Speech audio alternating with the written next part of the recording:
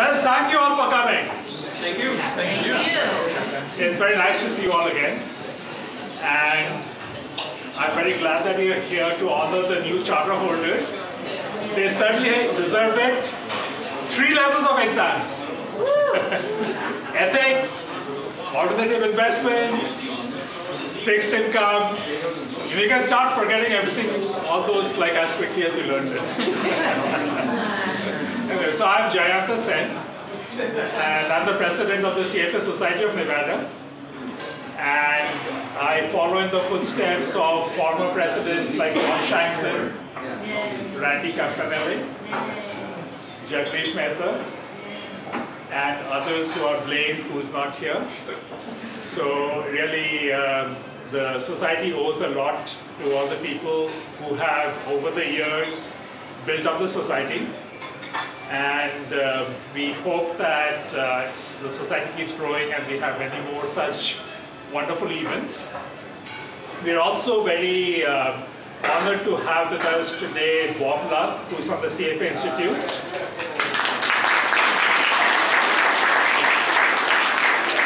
And Richard Mundinger, our PCR. And we have many of our society members and their families. And also we have some other honored guests. So thank you all. And I would like to say that um, the society is growing and we have opportunities for volunteer work. So I hope that the new members of the society will be active. We would like to continue this work which has been done by the previous office holders. And I would like to next introduce our next speaker, who is going to be Bob Luck from the CFA Institute. Bob, I'd like to thank him for coming. It's uh, inspiring that he is here and we thank him and we would like to say a few words to our new charter holders. Thank you. Thank you.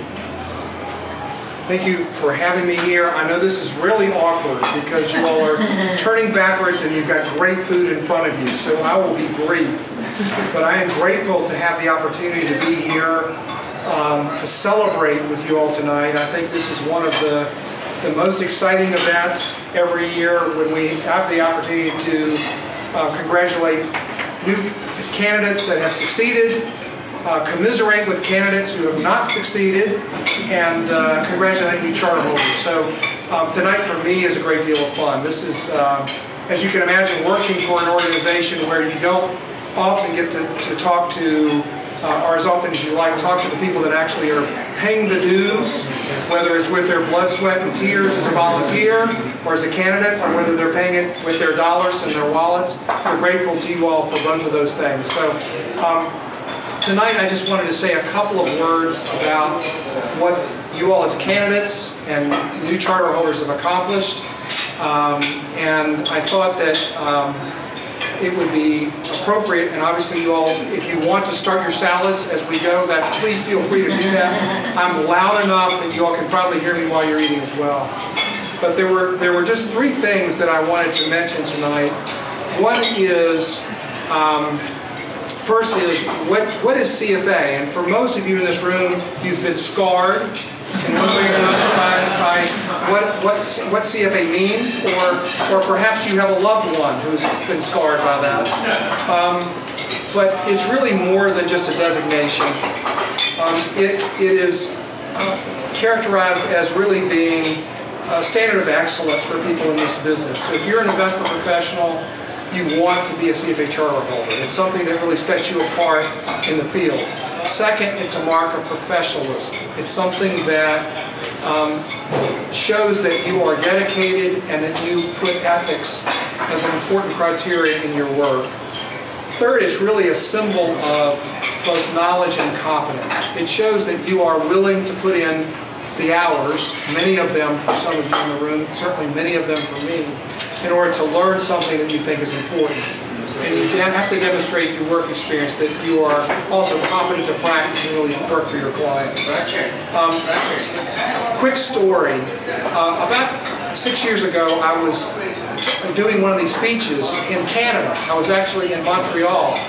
And one of the people at the end of the dinner pulled me aside and told me he was having a very difficult time at work.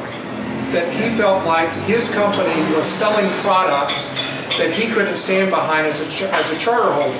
And he asked me for some advice. Now, I did point him to, in the direction to talk to some others about this dilemma, but he felt as though he couldn't work for this employer and do it an honest day's work for his clients. He felt like he was selling them something that they it was not in their best interest. As a charter holder, he held that in a higher regard and actually, you know, making a living. And it turned out, I didn't know it at the time, but within several months, he decided to resign and move to another company because he couldn't be what he thought he should be as a charter holder.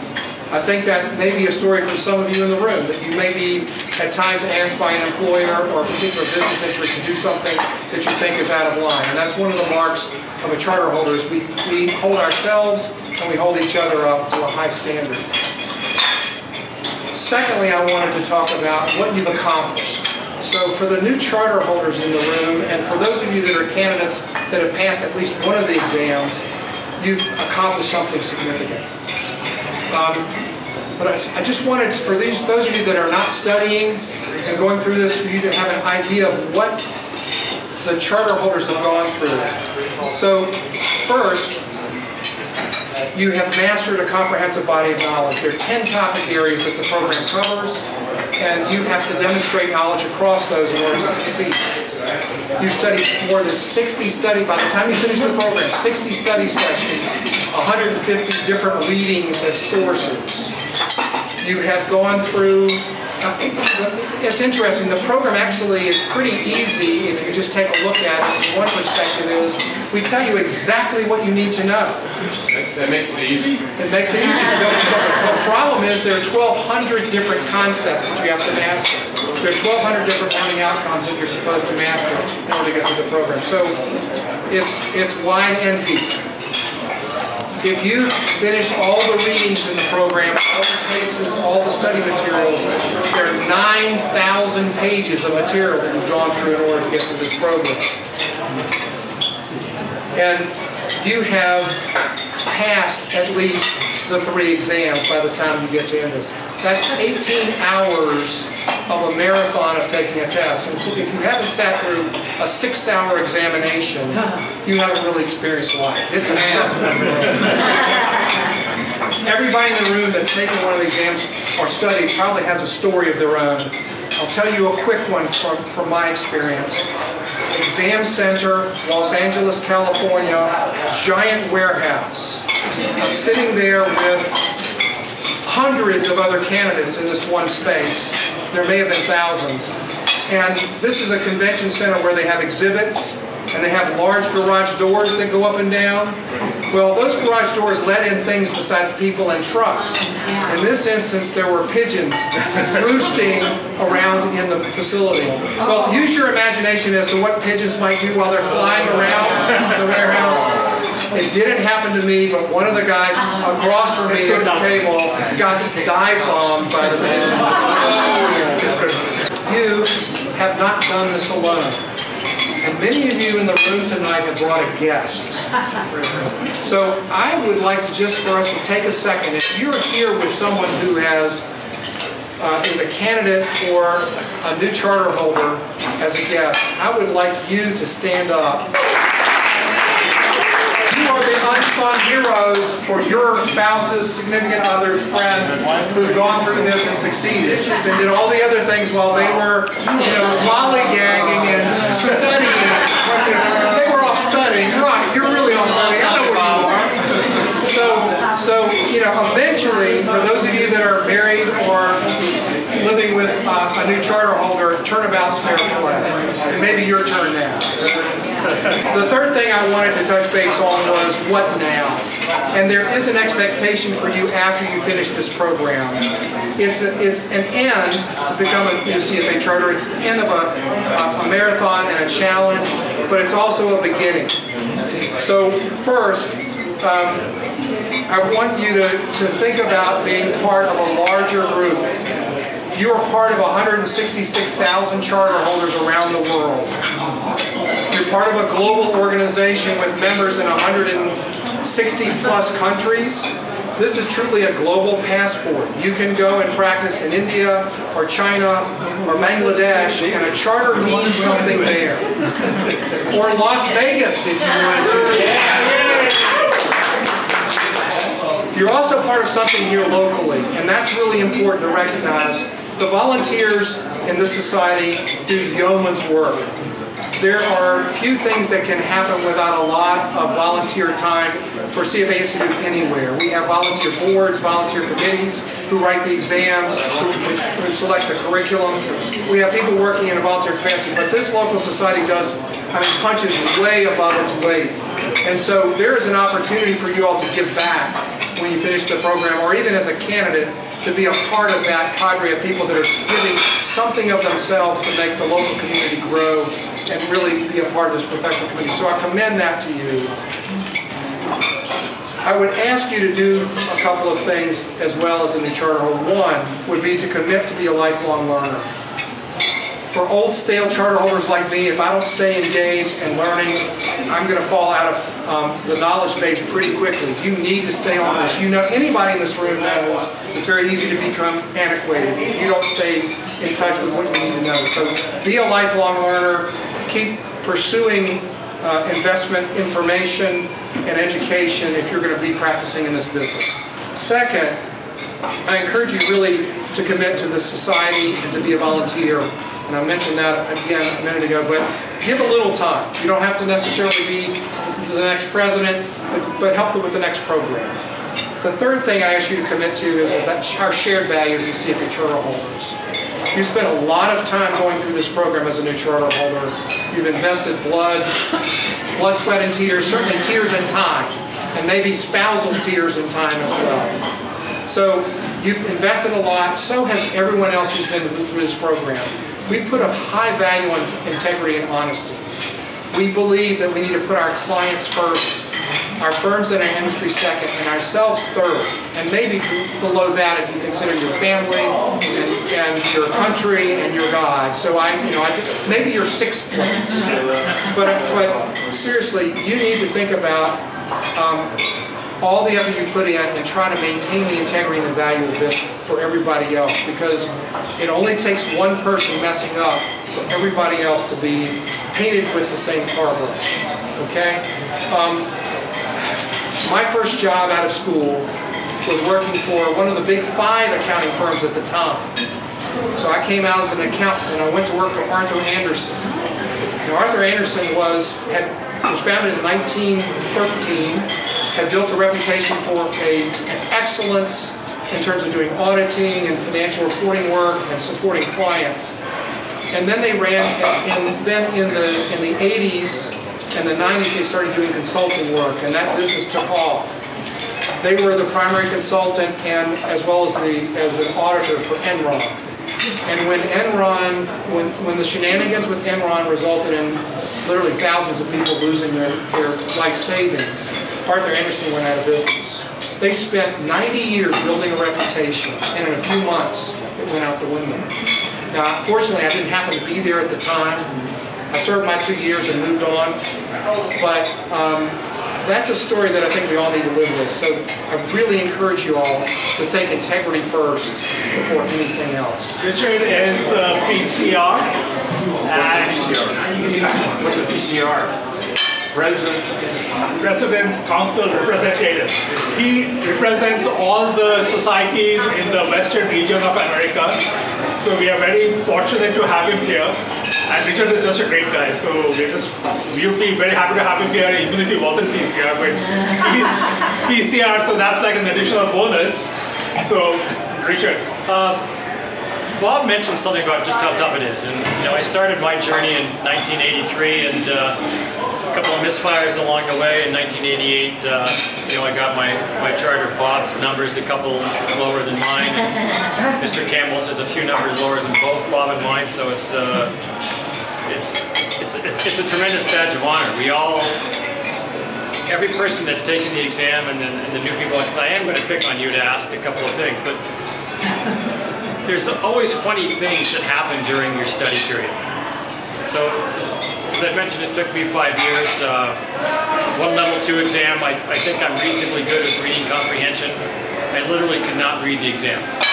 And then I find out later that the people that set the exam didn't talk to the people that uh, gave out the readings. That was just wonderful. I, I, I kept some of the questions aside when I started redoing it the next year, and there was one question in, in particular that took me from like November because I was really pissed. I don't know if I could say that word, but I was really miffed that I didn't get it.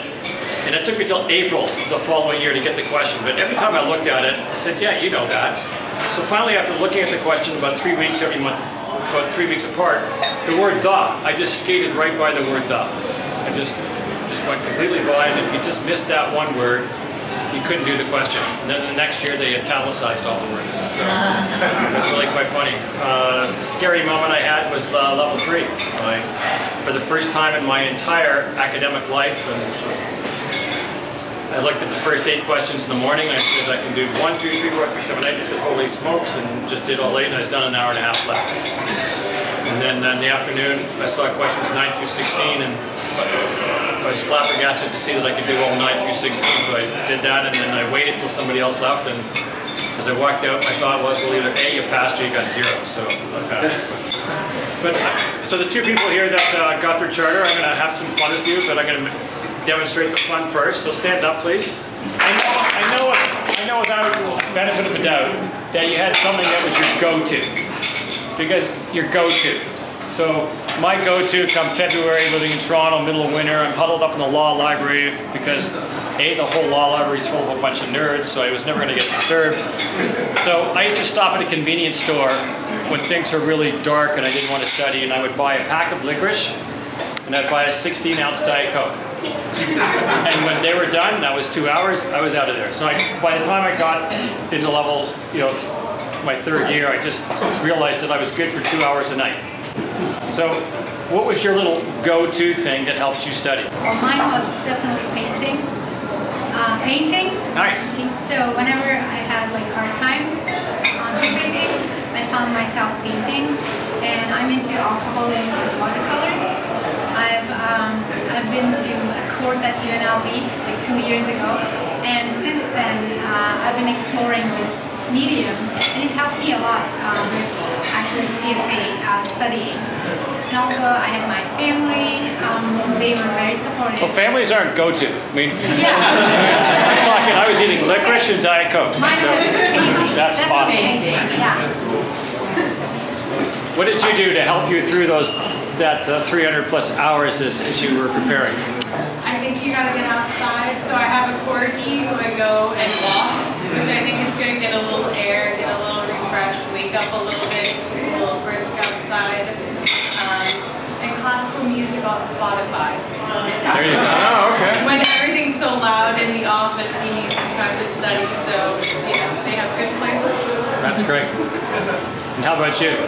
kind of regret standing up now. I just played a lot of video games. So we all need to do something when you're digging around for three for 300 hours. You just can't do it. So thank you very much for sharing your story. if I may, if I may- we are missing the new chapter program, but we do have a slide. Would you like to say something? What he would, what you think? he- Okay. Hi guys. Um, so Samer Jawhari is not one who's not able to make it. He's at work. Um, but Who is he? Work? is he? I know. So, uh, so what I would say for him is during the course of him studying for the CFA, we had our two beautiful children. And his probably his go-to would be spending a little time playing with them at night. Oh, nice. I just want to add one thing to what she just said about children. So I divide the, the smartness of the, of the candidates. The single people, like I was, are not the smartest. The married people are smarter than the single people. but the people that have children and are married, they're the smartest because I, I physically couldn't have done it. So congrats. Thank you all very much. Enjoyed it. Please feel free to ask any questions. Thank you, Richard. We are very honored to have you here. And next, a few words from John Shanklin, who was the president before me. If I was to describe John in a phrase, I would say he's the kind of person who makes this country great. He has integrity, he works hard, and is a great friend. And he's a U.S. Marine.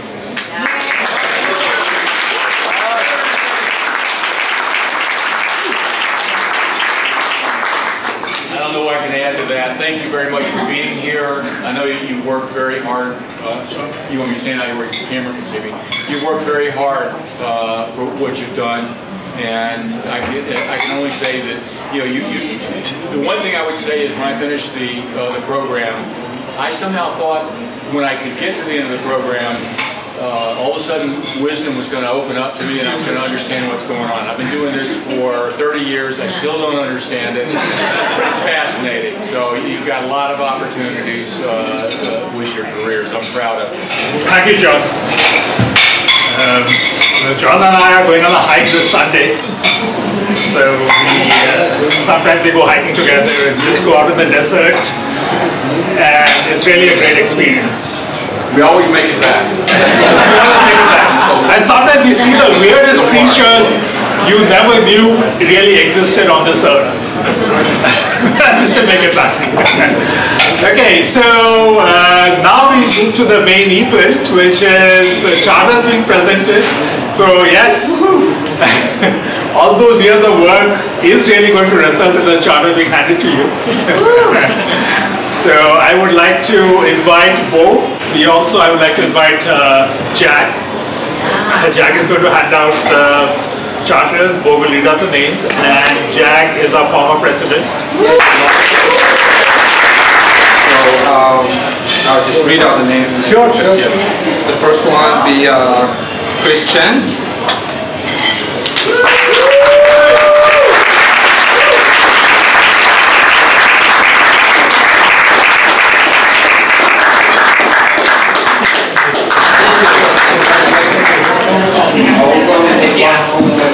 Next one is uh, Maya Barnes.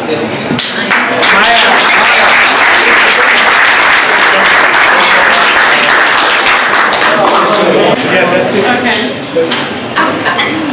Alright. The next one, I think I, I don't think he's here today, but uh, his family, wife and parents are here. So his name uh, Samer Jawhari. Yeah.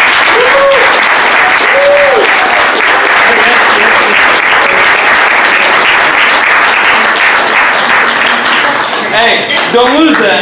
Don't lose The last one will be uh, Eski Ceylan.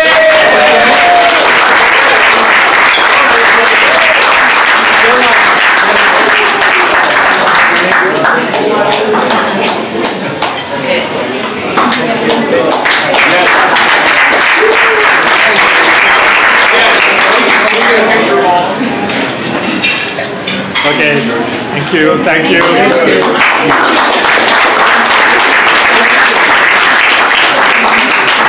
That's it with the speeches and uh, thank you all for coming and we hope to have you all back again.